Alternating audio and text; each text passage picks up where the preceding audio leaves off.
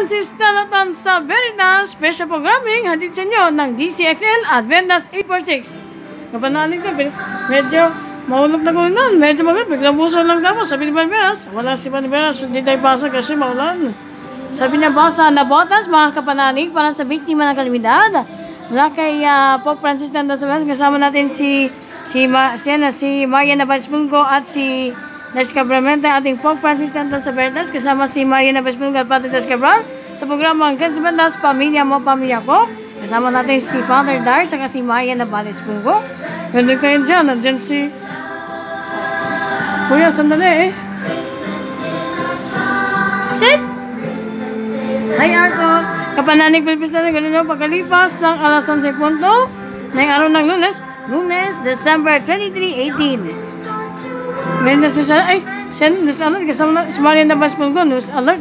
Mamaya si news alert kasama natin si Bernard news alert, Marian Nabas Pulgo. Mamaya si si ano si Bernard saka si ano Angelique sa programa Pope Francis Witness with Brother Bernard and Angie.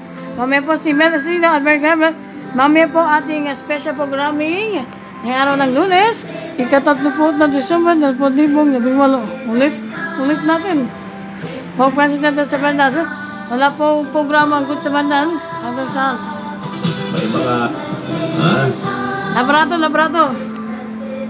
Dalawang oras na po. Meron pong uh, kapanalig Marian, kapanalig Ro. Eh, si ano, si Dennis Sharon. Eh, may, meron si...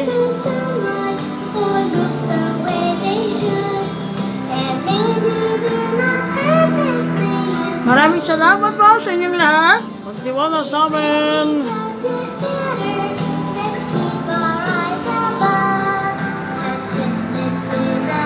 Pope Francis Tanda sa Verdas, I will be giveaway for Pope Francis Tanda sa Verdas. Abangan sa isa sila sa Sampalo. Nag-aabang sila. Kailangan abang, abang, abang, abang, abang, abang. Naku. Magpapre Francis Tanda sa Verdas. Kasama natin ang Verdas Cesar, si Maria Navales Pungo. Pwede kayong Good Samaritan.